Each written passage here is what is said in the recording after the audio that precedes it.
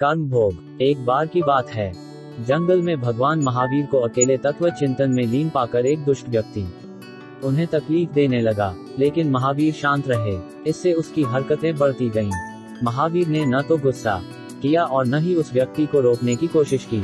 वह तो जीव मात्र के प्रति प्रेम एवं करुणा से पगे हुए थे। उनका मूल मंत्र ही यह था, प्रेम करो, प्रेम में ही परम तत्व छिपा हुआ है। वह सबसे कहा करते थे यदि कोई तुम्हारा अहित करे तो भी उससे प्रेम करो।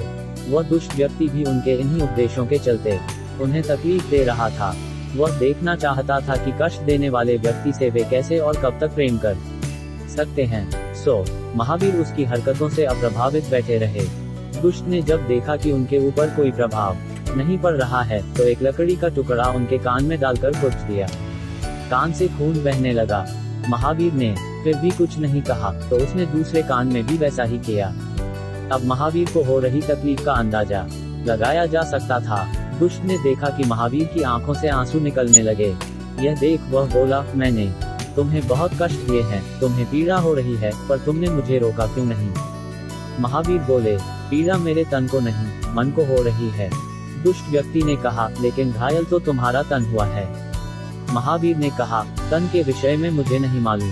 तुम्हें जो अच्छा लगे वही करो, परंतु तुमने जो कर किए हैं, उसके लिए तुम्हें कितना कष्ट भोगना पड़ेगा, यही सोचकर मैं दुखी हो रहा हूँ। मेरी चिंता मेरा, तन नहीं, बल्कि तुम्हें मिलने वाला कष्ट है।